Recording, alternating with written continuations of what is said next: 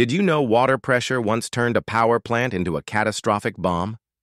The Sayano-Shushenskaya Dam in Russia was a marvel of engineering, holding back billions of gallons behind massive concrete walls.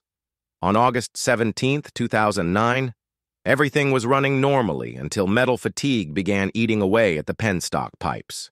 These steel tubes carried water at 40 atmospheres of pressure, enough force to crush a car instantly.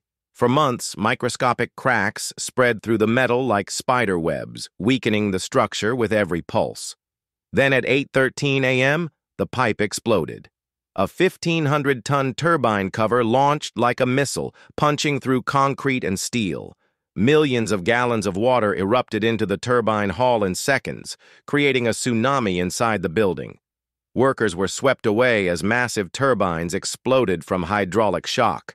The water pressure had literally turned steel pipes into bombs, converting hydraulic energy into pure destruction. 75 people lost their lives when engineering met the unstoppable force of water.